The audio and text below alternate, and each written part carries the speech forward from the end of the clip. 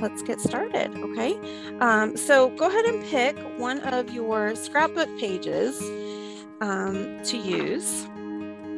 And uh, what we're going to use this for, um, you can see on my sample here, I've got some edging. So what I'm going to do, um, and what I, I, what is easiest for me is to steal the corners of the paper. So like I'll fold it so that all the all four corners are in one spot.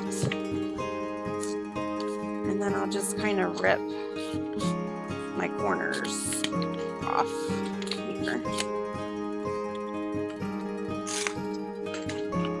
You don't have to do it. I mean, you can rip strips of paper and however you want to do it is fine. Like if you just want to rip them into strips. Uh, my scrapbook paper is much larger than my canvas here. So I'll have plenty of extra.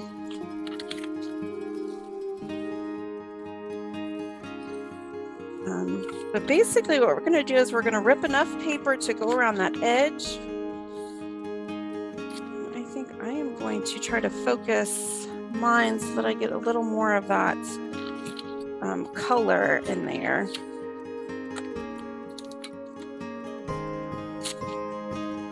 And it's okay if they overlap a little bit. It's okay if they don't completely touch.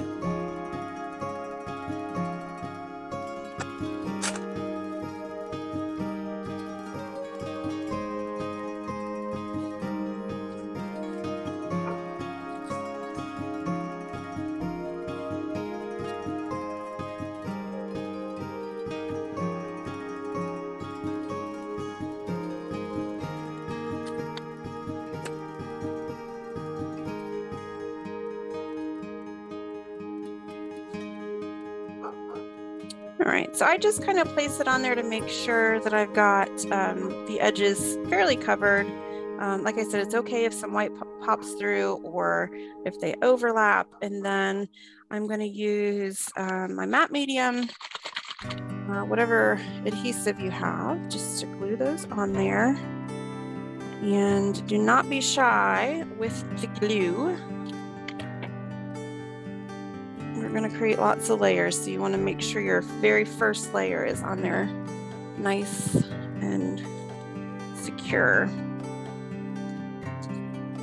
So just one by one, add these papers around your edge. A lot of the the middle edge here is going to be covered, so I'm more worried about lining up that outside edge. But you can always cut anything off that you need to as well.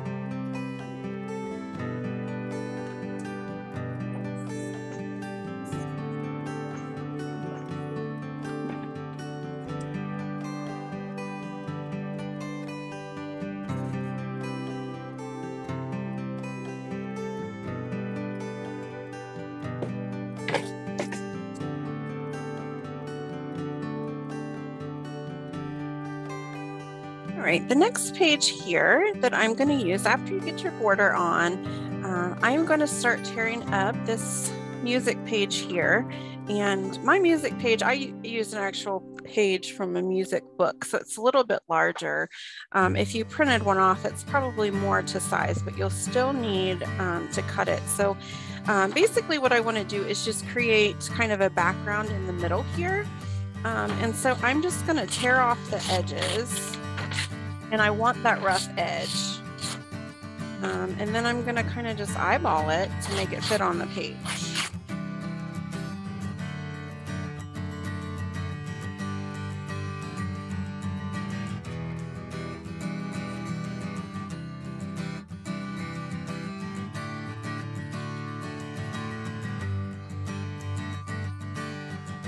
So you'll see it's not perfect. Um, I've even got a little patch here that's kind of white. I'm not, I'm not gonna concern myself too much with that. And I'm just kind of gonna center this on the page. And then again, I'm gonna add a nice thick layer of my Mod Podge or matte medium, whatever adhesive you're using. Um, put one underneath and put one on top make sure this baby sticks real good on there. And it doesn't matter if it's wet from previous step or not. It'll all just kind of mush, mush and blend.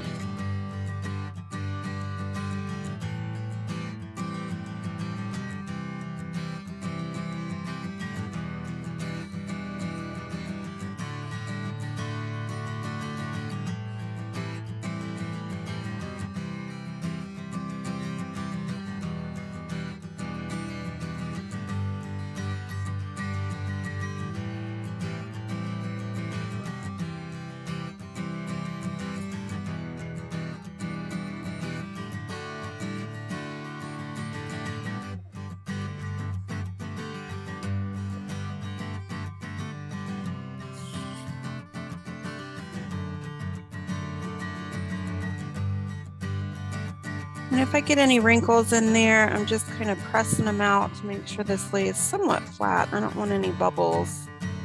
Wrinkles I can deal with. Bubbles will cause lift.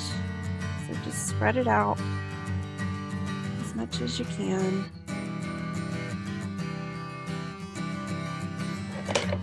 And if you are using um, one that's printed, um, just be careful that you don't over brush it because it will lift a little bit.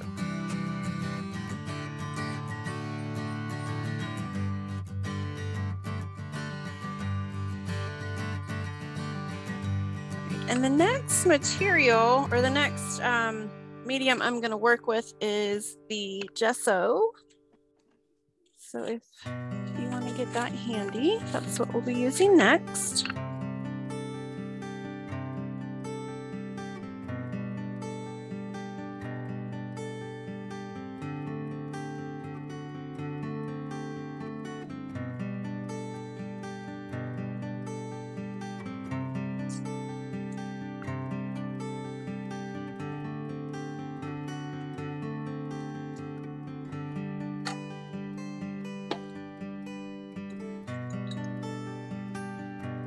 So I have squeezed out some white gesso here. Again, if you don't have the white gesso, you can use white acrylic. Uh, the thicker, the better. Um, but what I'm gonna do is take my knife here um, and I am gonna just um, kind of smear some of this around. I want a little bit to touch on my edgy uh, border here and I want a little bit on my background. Um, I want to see the texture of the gesso, so I don't want clear um, swipes. Some of it I want to see through, and some of it I kind of want to block off some of that image. So I'm just smearing it around so that I get little touches of it on my edge and all over my music page.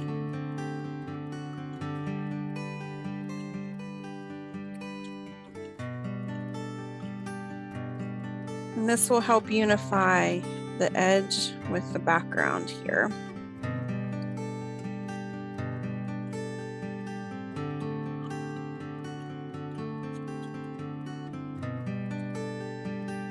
And I hate to cover up some of these pretty colors, but I am going to add in touches of color with the acrylic paint as well.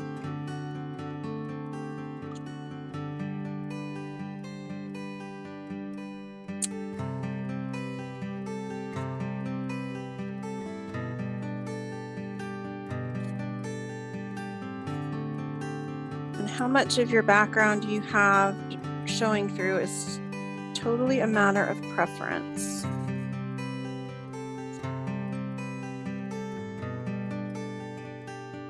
So you can just play with it until you are happy.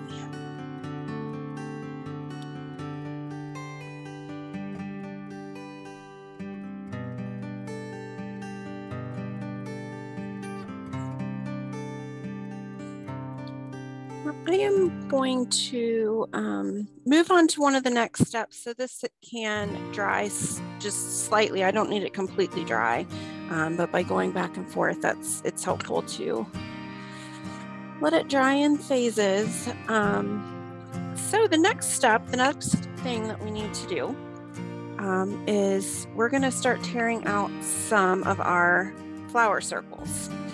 So choose, you can use the same scrapbook paper or a complementing scrapbook paper, whatever your preference is, or you can try both and see what you like better. Um, but what I want to do is I'm going to create three flowers.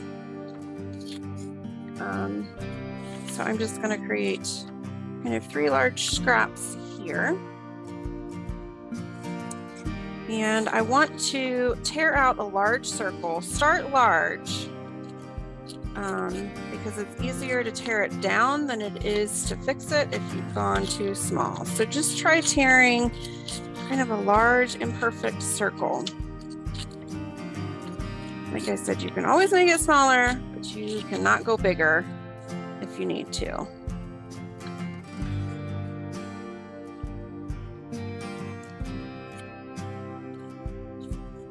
And once I get my circle shape, I'll kind of work it down to the right size. And this also kind of helps me make sure I keep the colors in there that I want and all that good stuff.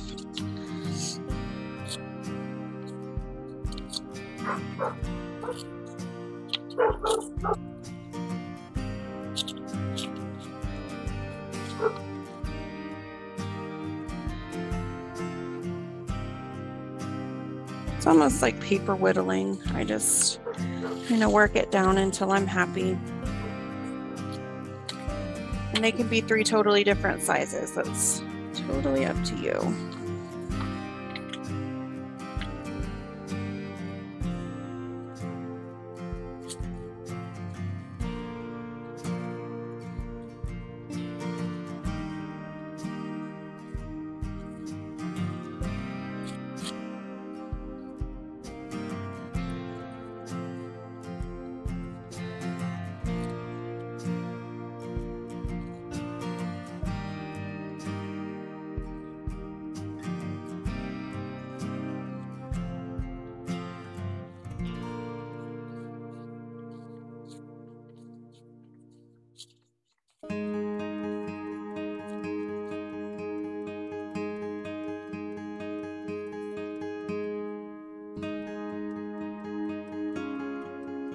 For this one, I had, um, I only used one piece of scrapbook paper, so I think I might do two smaller little circles. I want to make sure that they're not, I don't have an even number. I kind of work with odds here, but I'll add these little brighter colors down in there.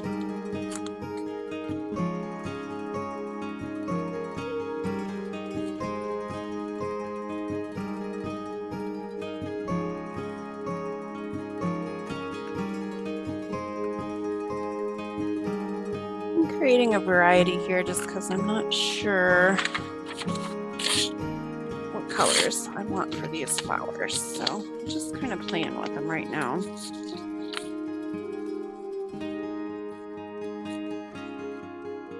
Really, we're going for three. The goal is three.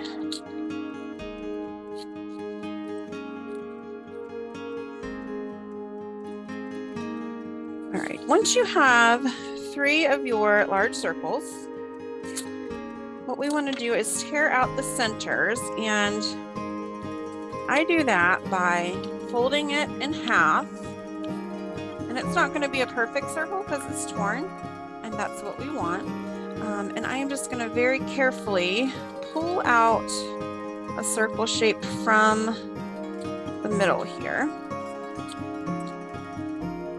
So when I open it, center is hollow, empty, hollow. I don't know what the word is that I'm looking for there.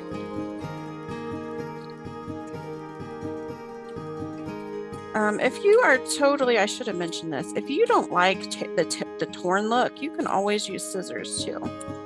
There are no rules here. We do what we want.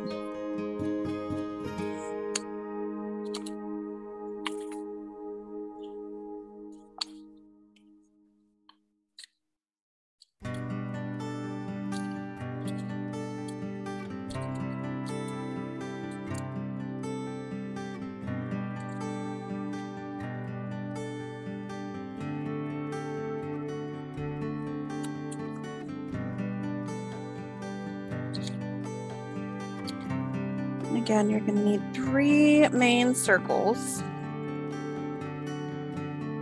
And then what you're going to do is you've got these centers that you've ripped out. Um, again, you're going to want to fold those in half and then rip out another ring to use for the center. And just tear it until you have it where you, where you like it. Um, you know, some of them may be bigger, some of them may be smaller. We're just gonna tear those babies, make them work.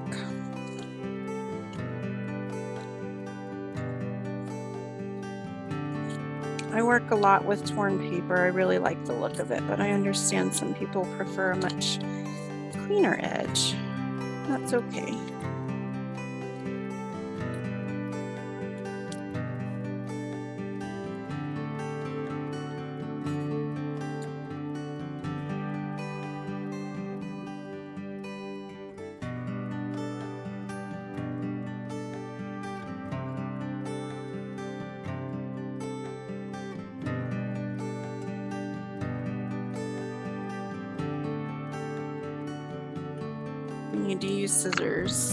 That's okay too. I think I might cut down my edges a little bit so they are clearer so that they're not touching, but that's a personal preference.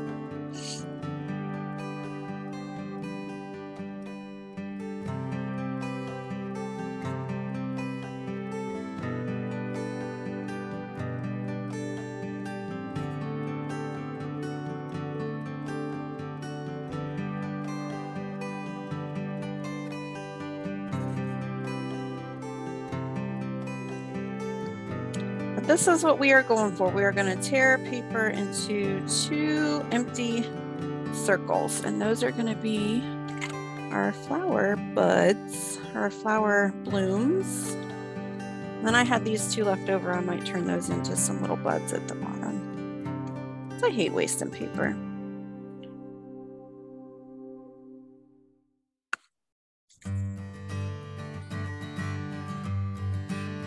Once we have those, I'm going to set those to the side and we will come back to those.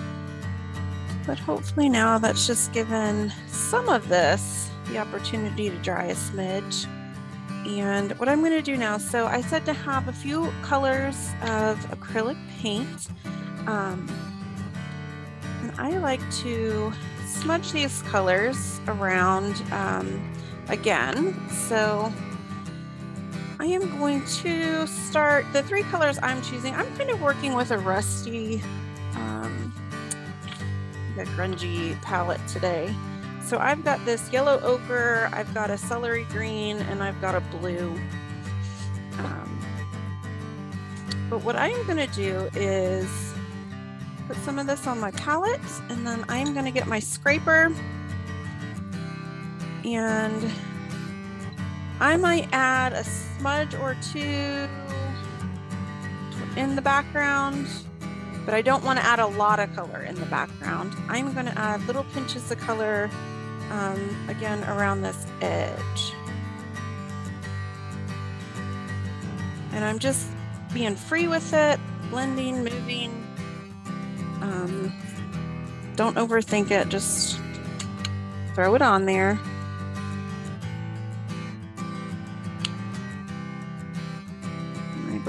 I'm going to do this with all three colors and you don't have to use a lot of all three color you know use you can use more of one less of another whatever makes your heart happy.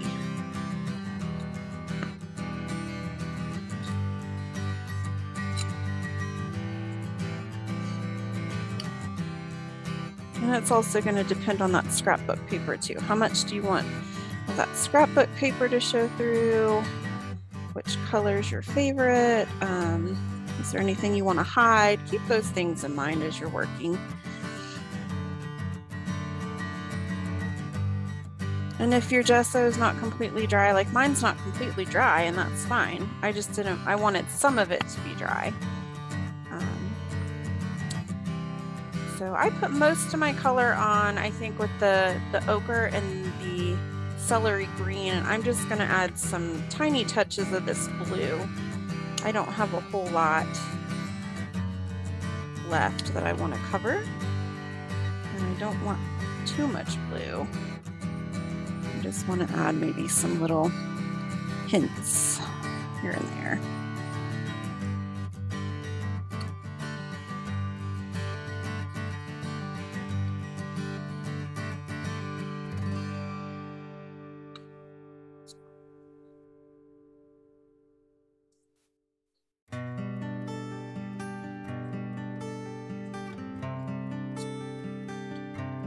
Reason why I call this one Grungy Flowers, um, not just because it looks a little grungy, but um, it really is okay to get in there and smear and move and um, and play.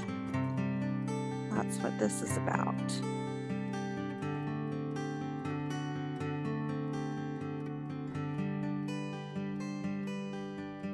All right. Um, what we're to do now is glue on our flowers. And so I'm going to play with the placement a little bit first. So I want to put those on there. And then add in the center so I know where everything is going.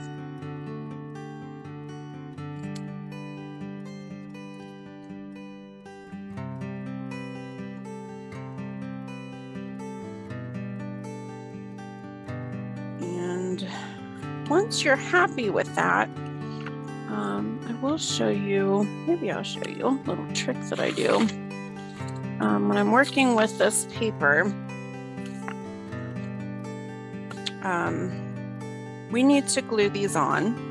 And so I'm going to use just that matte medium Mod Podge again and put some in a little cup here.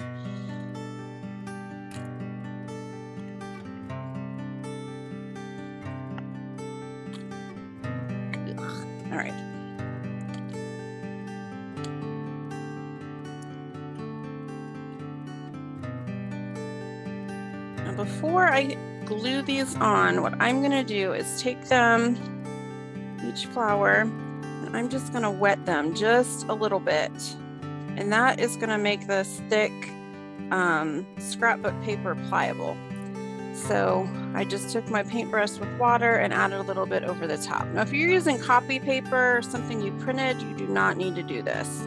This is for if you've got kind of that heavy, heavy um, difficult to glue on scrapbook paper. So that's an optional step. Um, but we're just going to take some Mod Podge and glue those on. Um, just being cautious that your background is pretty dry.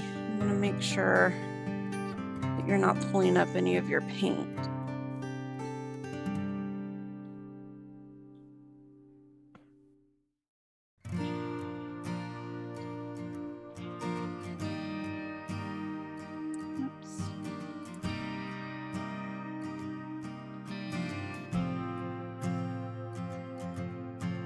Always say don't overthink it, and I'm overthinking it right now. So I'm just gonna get those on there. Oops.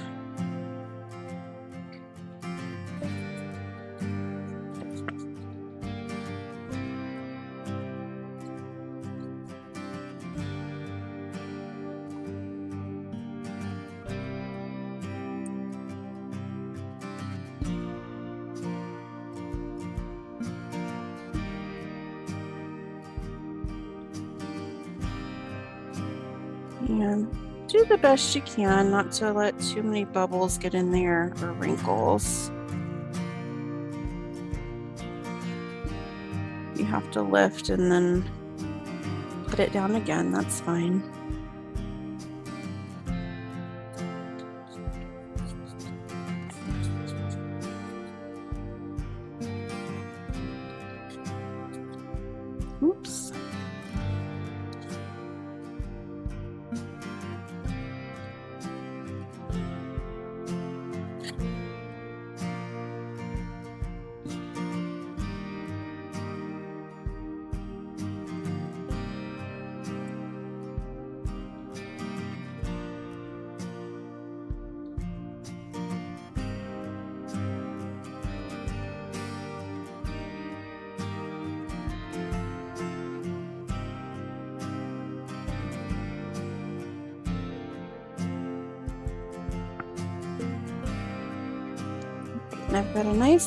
Of Mod Podge, or well, I guess I'm using matte medium right over the top of that.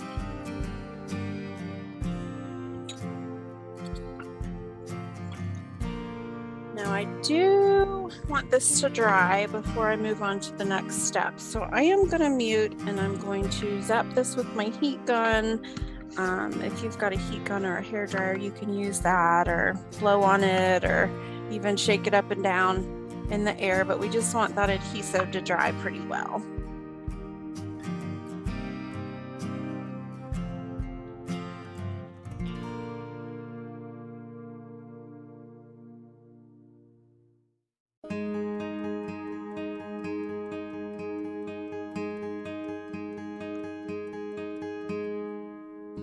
Okay, now for the next step, I'm going to use my Stabilo All pencil. Again, if you've got charcoal, you can use charcoal. Um, if you don't have either, just use your black paint marker. You'll just, if you're using a paint marker, make sure that um, your adhesive is dry because you don't want to clog up your paint marker. And I'm just going to use this to add an outline around my center circles and my outer circles. And I'm going to come back and activate this. It more of a defined edge.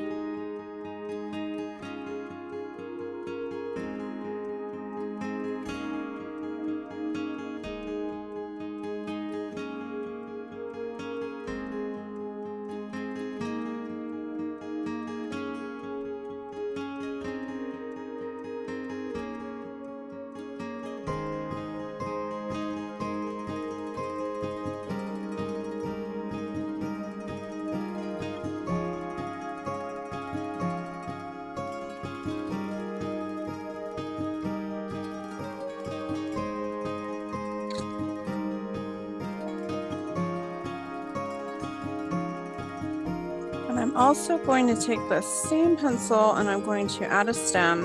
When I do the stems, I like to hold it on the end of the pencil. I don't need to be real specific with my line, so I just kind of let it do what it's gonna do. So I'm gonna add those stems in there.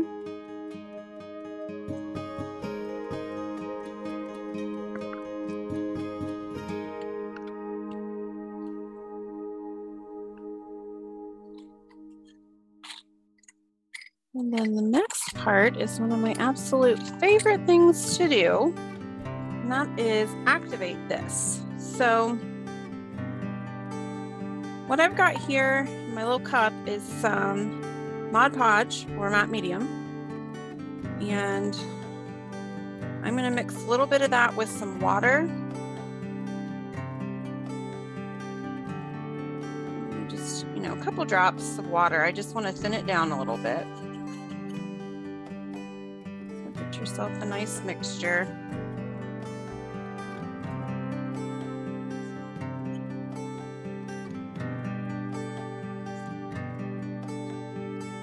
And it's okay if it's runny. This is not something we need to, we're not using it to stick. We just, um, we're gonna use that sealing quality of the matte medium to keep,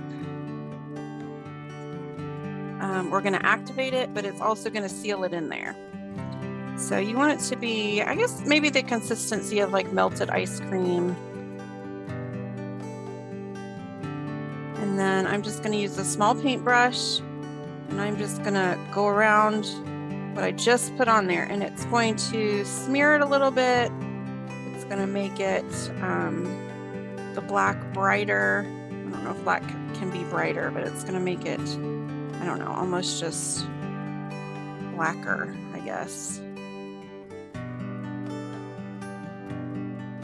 And I really like this kind of smudgy, crazy, messy look.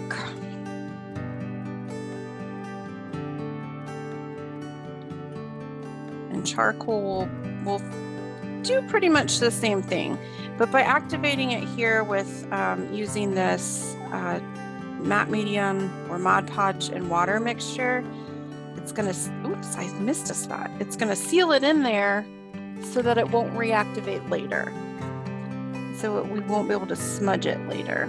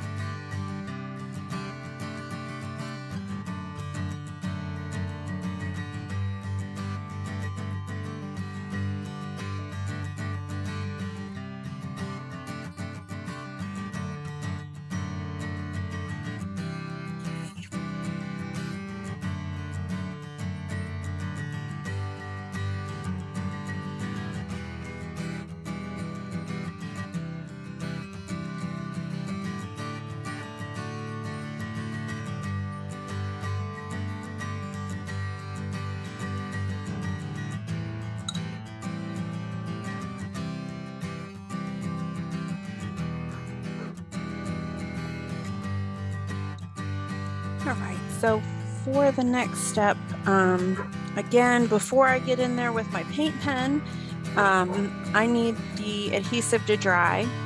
So this is kind of that optional step where we can add some, some texture on there.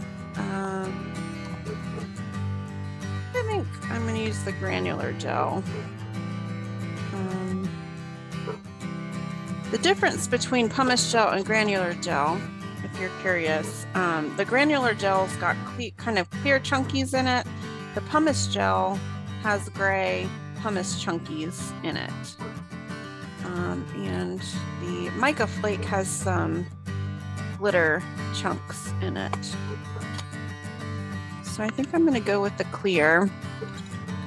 Um, but I'm just gonna get some of this on my brush and just maybe smear it into some places where I just think a little texture would be fun.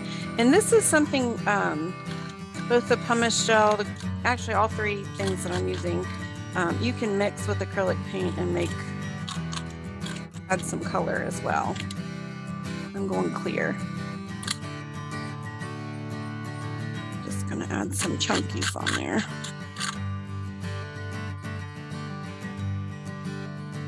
They also have one that's got like glass beads in it, which is pretty much the same as this granular gel. It's just glass instead of acrylic chunkies.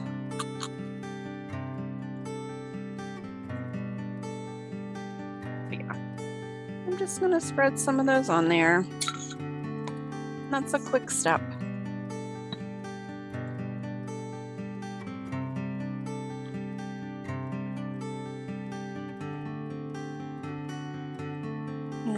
Again, I just want this section here to be nice and dry so I can add my paint marker. So I am gonna zap it.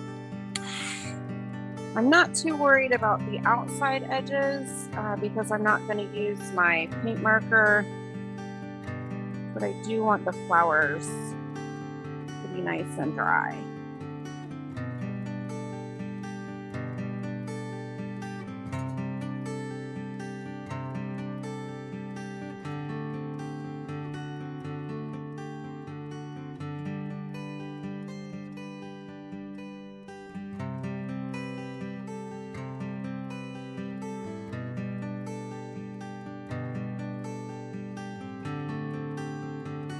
Also, I will mention too, if you don't have a paint marker, if you have um, like a really thin liner brush, you can do the same thing with acrylic paint um, as I'm doing now. So get your paint marker, prime that baby up. Um, and what I like to do is create kind of a wonky center for my flower.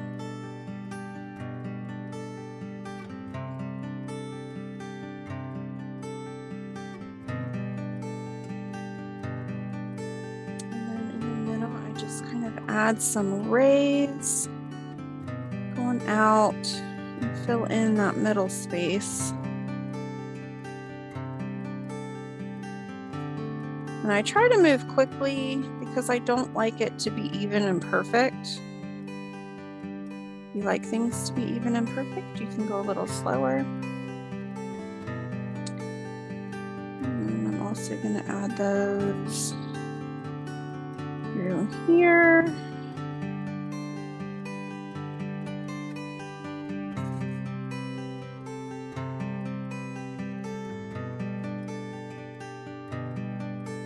This is where you can kind of have some fun. It takes, this takes a while to do this, but you can add whatever kind of lines and dots and goodies around the outside that you like.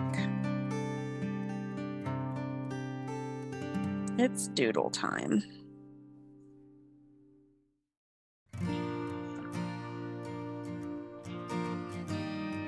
Then I also like to add some around the outside edges and on the outside I put little I don't know what you call those like little dots at the end.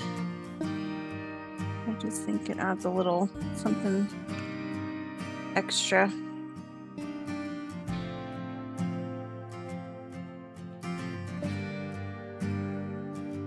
But of course whatever you do in your painting is up to you. So you can add squiggles, you can add loops, whatever you like. I kind of like these, um, I don't know, virus like amoeba ish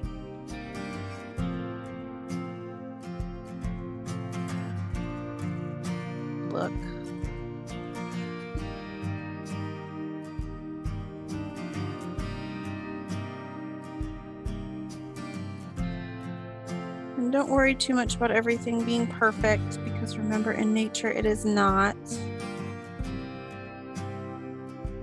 Petals fall off and things break and they grow at different rates. So Just go for it.